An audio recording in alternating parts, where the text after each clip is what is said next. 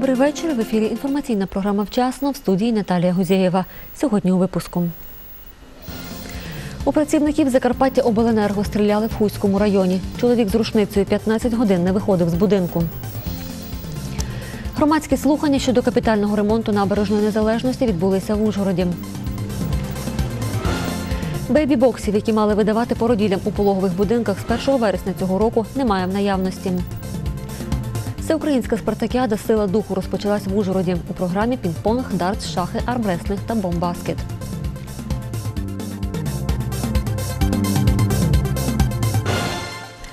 Чопі на подвір'ї приватного будинку вибухнула граната. Пошкоджено будинок, травмованих та загиблих немає. Про це сказала речниця головного управління Нацполіції Закарпаття Інеса Манзулич Іванова.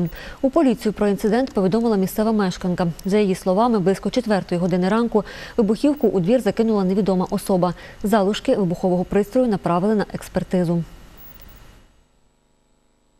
За даним фактом відкрите кримінальне провадження за частиною 2 статті 194 Кримінального кодексу України це й умисне пошкодження майна шляхом вибуху. Санкція статті передбачає позбавлення волі від 3 до 15 років. У працівників Закарпаття Обленерго стріляли в Фуйському районі. Про це сьогодні сказала речниця Нацполіції Закарпаття Тетяна Щоголєва. Про інцидент правоохоронців повідомив 11 вересня мешканець села Сокирниця. Він заявив, що його односелець, який проживає на вулиці Зеленій, стріляє з рушниці в працівників, які прийшли відключити його будинок від світла. Ці особи прийшли ну, відключати електрику за неоплату місцевому мешканцю, на що він вийшов з рушницею, почав по них стріляти, і під дулом е, цієї рушниці змусив одного із них на- назад підключити йому електрику. Чоловік закрився в себе в будинку і відмовлявся виходити. З ним вели переговори 15 годин. Близько четвертої години ранку поліцейським вдалося затримати чоловіка. У нього вилучили незареєстровану рушницю. Відкрито кримінальне провадження за фактом хуліганства із застосуванням зброї. Інформацію про постріли в бік працівників Закарпаття Обленерго підтвердила і речниця підприємства Наталія Логойда Петерварі. За її даними, споживач не сплачував за послуги протягом чотирьох років. Його борг понад 8,5 тисяч гривень. Громадські слухання щодо капітального ремонту набережної незалежності відбулися сьогодні в Ужгородській міськраді. Запрошували усіх охочих, прийшли на слухання і учасники ініціативної групи Сейф Напка та інші мешканці Ужгорода. Нагадаю, 11 вересня члени групи Сейф Напка провели акцію протесту під стінами міської ради. З подробицями Марія Лукей. Зустріч відбулася в сесійній залі Ужгородської міськради. Почав обговорення мер Ужгорода Богдан Андріїв. Пояснювальній записці не сказано жодного слова про видалення дерев. Якщо хтось говорить, що ми не даємо проект, що ми його сховали, якщо розможете кому потрібно, всіх там 150 сторінок, беріть, вичитуйте, що ви там пишете знайти. По одному, будь ласка, по одному. Значить, отримали жодного акту проекту. Нам відмовляють доступі до цієї документації. Представники ініціативної групи «Сейвнапка» кажуть, що досі їм не надали для ознайомлення усі необхідні дозвільні документи щодо ремонту набережної. Більшу частину інформації ми не отримали, тому ми не можемо її проаналізувати і вести конструктивний діалог саме по самому проекту, так по якихось деталях проекту. У нас є тільки декілька е, частин документації, і цього не вистачає для того, щоб провести серйозне експертне обговорення. Учасники зустрічі зійшлися на тому, що потрібно створити спільну робочу групу із представників влади та громадськості. Богдан Андріїв сказав, що кошти, які виділив Кабмін на ремонт набережної, потрібно використати до кінця року, інакше їх доведеться повернути назад. Наразі будівельна компанія, яка проводить ремонт, отримала 300 тисяч гривень. Сьогодні вночі перекриють рух на відрізку від вулиці Довженка до площ- до площі Петефі. На цій ділянці будуть встановлювати головну сцену до Дня Ужгорода. Про це повідомила речниця Ужгородської міської ради Алла Кохан. Об'їзд організовано через вулиці Крилова, Небесної Сотні з виїздом на площу Жупанацьку, а також через площу Народну, вулиці Ломоносова, Гойди на вулицю Собранецьку. Обмеження руху діятиме до 17 вересня. На Хущині чоловік застрелив собаку свого односельчанина. У поліції порушили кримінальне провадження. Про це сьогодні в інтерв'ю нашому каналу повідомила речниця головного управління Нацполіції Закарпаття Тетяна Щоголєва. Ми дізнавалися подробиці. Село Крайниково Хуського району. У цьому будинку мешкає Микола Вайнагій, власник убитого собаки. Каже, у неділю вранці випустив свого пса на полювання. Той довго не повертався додому. Увечері Миколі зателефонували односельчани і повідомили, де тварина. Там на місці я побачив, як собака ще дихала, і біля нього стояв цьок Антон Михайлович із рушницею. Я кажу, яке ти право мав застрелити мою собаку, тим більше прямо у дітей, у людей на очах, що і в населеному пункту. Він сказав, що ну, таких треба всіх стріляти, що загризає чужу, ну, чужу курицю. Тут стояв собака, тут сиділи діти. Антона Цьоку вдома ми не застали. Його невістка каже, на подвір'ї біля будинку святкували день народження її сина, коли забіг чужий собака. Діти закричали, просто кричали, пищали так, що слів не було. Я взяла швабру, я почала собаку гнати геть, кажу, марш з двору. Але він ніяк не відреагував. Він повернувся на сина і почав скалити зуби. Я тоді взяла сина за руку, потягнула за себе, взяла звідти камінь, хотіла кинути в собаку, але він вибіг, я кинула в ворота, в двері. Потім прийшов вже батько мого чоловіка. Приїхав додому, я це йому розказала, а він каже, то він зараз там сусідки сидять, курицю жре. Взяв свою зброю, пішов, пішов, вбив того собаку просто. В сільській раді Крайникова дають таку характеристику сім'ям. Та вияснили ми, що вони зовсім не сусіди. Я, не, я навіть не знаю, як чи то пес туди по- так далеко мог побігти, чи як то сталося, я не, не знаю. А взагалі, як мешканці, вони Ну, нормальні, ну як, я би не казала обоє нормальні, але які між ними відносини не знаю. Коли Микола Вайнагій побачив, що його собаку убито, викликав поліцію. За даним фактом відкрите кримінальне провадження. Це є жорстоке поводження із тваринами. Е, е, Зброя, з якої застрелили тварину, є зареєстрованою. Тетяна Щоголєва сказала, чоловік, якого підозрюють у вбивстві собаки, теж звернувся до поліції з заявою про те, що тварина загрожувала життю його онука. Бейбі-боксів, які мали видавати у пологових будинках з 1 вересня цього року, немає. Породілям в Ужгородському пологовому будинку пропонують звертатися до місцевих управлінь соцзахисту. Деталі розкаже Оксана Ушакова.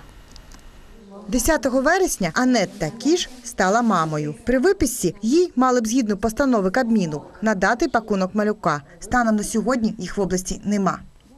Напевно, це на все буде маленьке, чесно кажучи. Там розміри, напевно, для новонароджених саме манюсінькі, там на 56 сантиметрів. Чесно кажучи, могли б ці бейбі-бокси давати, коли жінка уходить у декретну відпустку. Щоб бачила, що що їй треба докупити, не треба. У Наталії Шандор пологи почалися передчасно. За її словами, пакунок малюка став би їй у нагоді зараз, адже підготуватися до народження дитини не встигла. Було краще дістати це у роддомі, і прийти додому і вже мати хоча б якусь основу. Якщо чекати місяців півтора, то дійсно дитина вже підросте, набере вагу і вже може й не пригодиться половина з того, що є в чемодані. Якщо на день виписки немає пакунків малюка, породілля може написати заяву до органів соцзахисту прямо у пологовому. Для подачі заяви, написання заяви в межах 17 днів, і тоді вже мами не будуть писати ці заяви, а відповідно будуть отримувати у нас. Начальник департаменту соціального захисту населення області Наталія Омелянюк сказала, що перша партія 538 пакунків малюка прибуде на Закарпаття у п'ятницю, 14 вересня.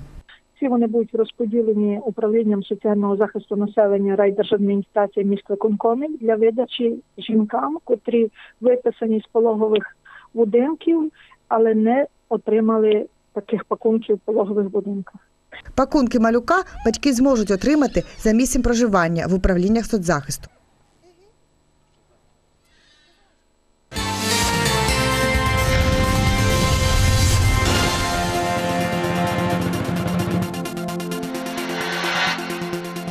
Ковчег над Ужем. Історія Ужгорода в анекдотах і апокрифах. Сергій Федака презентував свою нову книгу.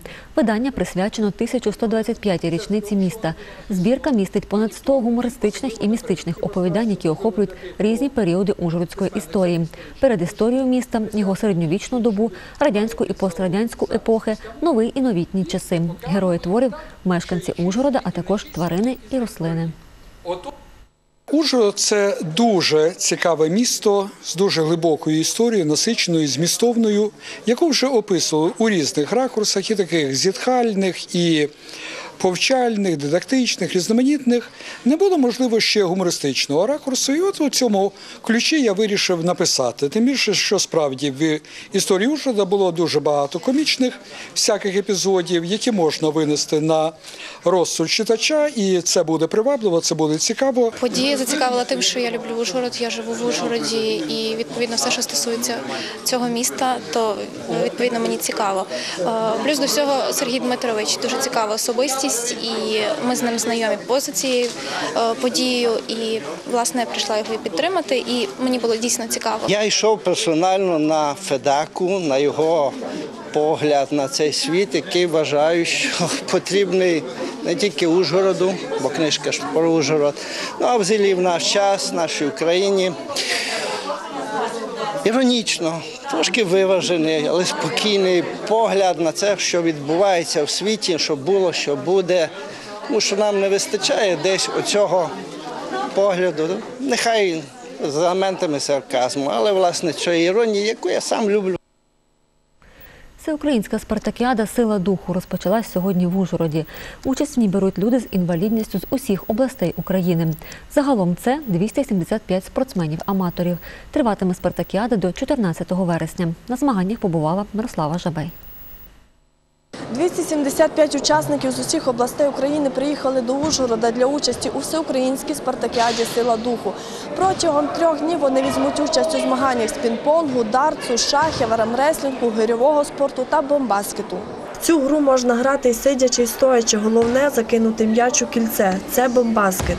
Ну, я коли займався баскетболом немножко, а це дуже схоже. схоже. І тактика, і е, техніка.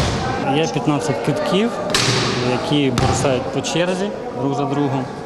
І той, хто більше вибиває з 15, той чемпіон. Сидячи дуже тяжко кидати, бо ноги не працюють, а працюють тільки руки. Чемпіона обирають і в настільному тенісі. У пінг-понг грають чоловіки та жінки. Захотелось спробувати свої сили. Також советую... Захотілося спробувати себе. Раджу всім, аби вони відчули те, що відчуваю я, коли граю, щоб вони не боялися своїх обмежених можливостей. А тенісом я займаюся тому, що ще до аварії любила цей вид спорту і після продовжила займатися ним. За- решила именно в него попробовать. В армреслінгу беру участь, а, тому що мені подобається цей вид спорту. Я люблю боротися на руках. Получаю від цього велике задоволення. Є спеціальні тренування, спеціальні вправи. Треба три рази в тиждень займатися, по дві години тренування.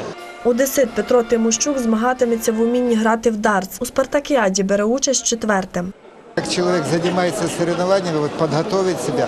Людина готує себе до змагань, то це зміцнює здоров'я, допомагає мисленню. Загалом людина продовжує жити повноцінно і ставити цілі. А цілі дуже добре для людини, бо без мети нема життя Хорошо для чоловіка. Без цілі нету життя.